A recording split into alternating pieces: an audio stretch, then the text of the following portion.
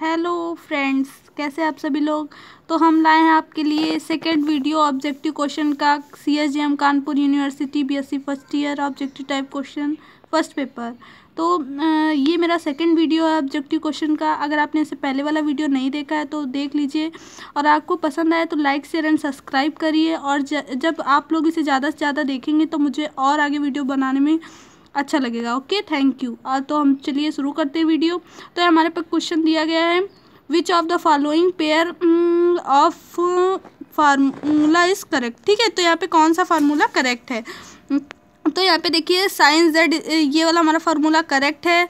Sign Z की series होती है z minus z cube upon factorial three plus z की power five upon factorial five minus so on ठीक है? यहाँ पे फार्मूला ये है, ये तो आपको याद ही करना पड़ेगा, ठीक है? तो यहाँ पे और अगला क्वेश्चन है, the formula sine alpha plus beta is equal to sine alpha cos beta plus cos alpha sine beta is true when alpha and beta are क्या हो सकते हैं? अल्फ़ा बीटा और क्या होंगे जब ये फार्मूला ट्रू होगा। तो ये जब कोई एनी कॉम्प्लेक्स कोई भी कॉम्प्लेक्स नंबर होंगे, तब के लिए सत्य है, ठीक है? तो इसलिए हमारा यहाँ पे एनी कॉम्प्लेक्स नंबर ट्रू हो जाएगा। If F n is any integer then e की power two n pi i is equal to तो ये हमारा देखिए एन कोई भी इंटीजर हो तो हम इसको कैसे सॉल्व करेंगे, ये आप देखेंगे। देखिए, यहाँ पे हमने सॉल्व किया है ई की power two n pi i is equals to ये फार्मूला होता है। देखिए, यहाँ पे फार्मूला लिखा गया है ई की power i theta is equals to cos theta plus i sine theta theta की जगह यहाँ पे टू एन पाई है, यही वैल्यू हमने यहाँ पे रखी है। तो साइन आल पाई चूँकि ज़ीरो होता है, इसीलिए यहाँ हम एन लिखना सॉरी भूल गए हैं। तो आप यहाँ पर एन लिख लीजिए। ठीक है? तो यहाँ पे ये ज़ीरो होता है, अल साइन अल्पाई तो यहाँ पे cos two n pi i की वैल्यू वन होती है। इसलिए हमारा ई की power two n pi i is equals to one हो जाएगा ओके समझ में आ गया ना आपको? अगला क्वेश्चन अगला क्वेश्चन है ई एक्स पी का मतलब ये होता है ई की पावर ई की पावर में ही लिखा है, ठीक है? ई की पावर ई की power i theta is equal to ठीक है? तो देखिए हमारे पास तो देखिए इस क्वेश्चन को हम यहाँ पे ऐसे सॉल्व करेंगे। ई की ई एक्स पी का मतलब होता है ई की पावर में। ई की पावर में ई की पावर आई थीटा लिखा है तो यहाँ पे हमने ई की पावर आई थीटा का फार्मूला खोल लिया। Cos theta plus i sine theta इससे पहले वाले क्वेश्चन में भी जैसा कि हमने यहाँ पे आपको फार्मूला बताया था, ठीक है? यही फार्मूला यहाँ पे लिख लिया है। उसके बाद हमने पावर में अलग कर लिया। जब यहाँ पे कोई भी पावर्स होती हैं, जो वो पावर में ऐड होता है ना तो ई की power cos theta into e की पावर आई साइन थीटा लिख लिया है, क्योंकि सेम पावर ऐड होती हैं, ठीक है?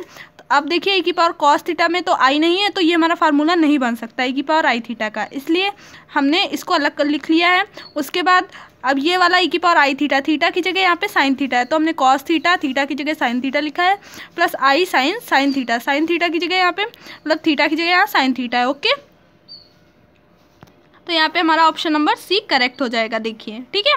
फिर अगला क्वेश्चन हमारा sine alpha plus theta minus e की power i alpha sine theta की whole power n is equal to तो ये कैसे सॉल्व हो गई, हम देख रहे हैं ओके तो देखिए, यहाँ पे हमने क्वेश्चन सॉल्व कर लिया है, इसको कैसे सॉल्व करेंगे? साइन अल्फ़ा प्लस थीटा को हमने साइन ए प्लस बी के फार्मूले से खोल दिया है। Sine A cos B plus cos A sine B ठीक है? यहाँ पे ए अल्फ़ा का काम करेगा बी थीटा की जगह पे बी की जगह थीटा काम करेगा ओके यहाँ पे एक पावर आई एल्फा का हमने ऐसे रखा है आपको समझाने के लिए। नेक्स्ट स्टेप में हमने ये सेम उतार दिया है। उसके बाद एक पावर आई थीटा का फॉर्मूला खोल दिया cos theta plus i sine theta चूँकि यहाँ पे थीटा की जगह अल्फ़ा है, इसलिए हमने अल्फ़ा यूज़ किया है, ठीक है? बाकी सेम उतारा है। उसके बाद हमने यहाँ पे इसको इस सेम उतार लिया, उसके बाद इसको खोल दिया साइन थीटा की इसके अंदर मल्टीप्लाई कर दी है। और यहाँ पे देखिए, यहाँ माइनस साइन था, इसलिए यहाँ का साइन चेंज हो गया माइनस आ गया, ये आई है। I sine alpha cos theta की होल पावर एन ऐसे ही लिखा ठीक है? अब यहाँ अपोजिट साइन होने की वजह से ये कट जाएँगे, उसके बाद साइन अल्फ़ा कॉस थीटा ऐसे रखा माइनस ये वाला बचा था टर्म ये उतार लिया। अब यहाँ से दोनों से साइन अल्फ़ा कॉमन है, इसलिए साइन अल्फ़ा ये, क्योंकि इसमें पावर एन लगी है, इसलिए हमने इसको बाहर लिख लिया, और यहाँ पे बचा कॉस थीटा इधर माइनस आई साइन थीटा ठीक है? होल पावर एन ये वाली।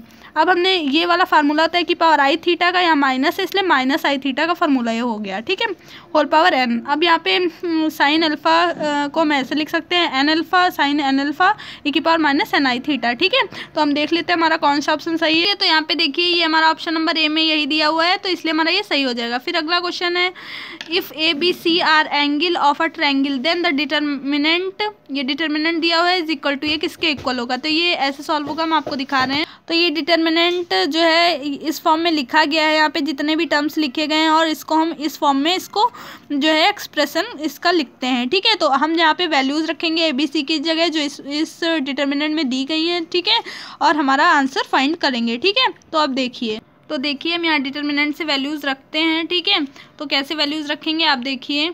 आप फार्मूला कहीं पे नोट कर लीजिए, उसके बाद आप वैल्यूज़ रखिए। हमने ए बी सी की जगह ए की power two I A e की power two i B two i C लिख दिया है। प्लस यहाँ पे था two F G H two F G H की जगह की वैल्यू रख दी है और यहाँ minus A F square minus B G square minus C H square की सारी वैल्यूज़ रख दी हैं। अब यहाँ पे टू आई सब में से कॉमन ले लिया है प्लस बी प्लस सी लिख दिया है। ठीक है टू ई की पावर माइनस आई यहाँ पे कॉमन ले लिया है, ये लिख दिया है और यहाँ पे two i A into minus two i B हो जाएगा, ये आप खोल लीजिए, आपको समझ में आ जाएगा, ठीक है? तो यहाँ पे हमने फिर क्या किया?